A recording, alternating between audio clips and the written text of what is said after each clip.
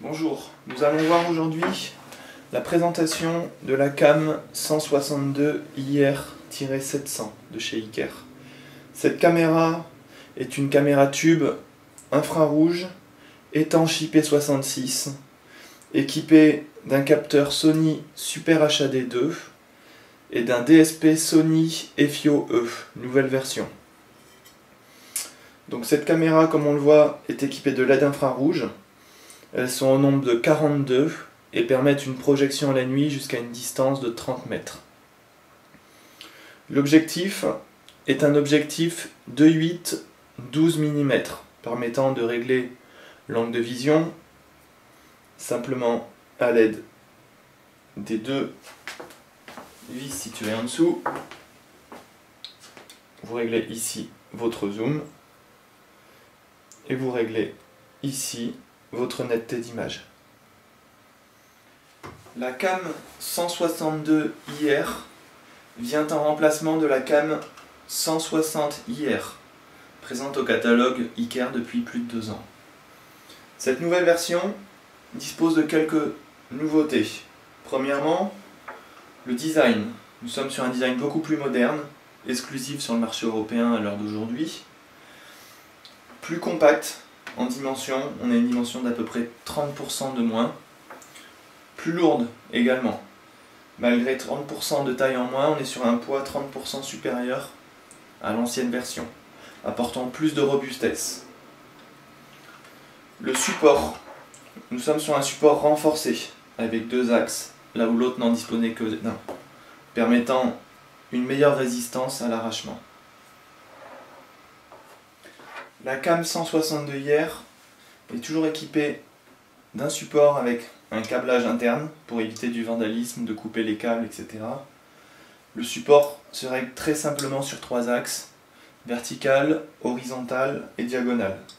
Il suffit de dévisser légèrement, choisir l'angle que l'on souhaite et finir en verrouillant. La nouveauté vient également de l'embase de la caméra.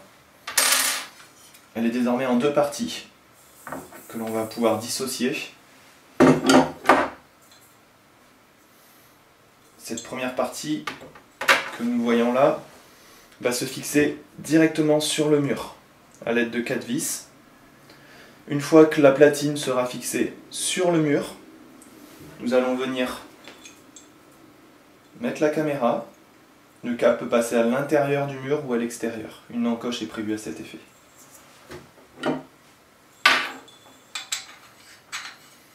ici, vous replacez votre embase sur la platine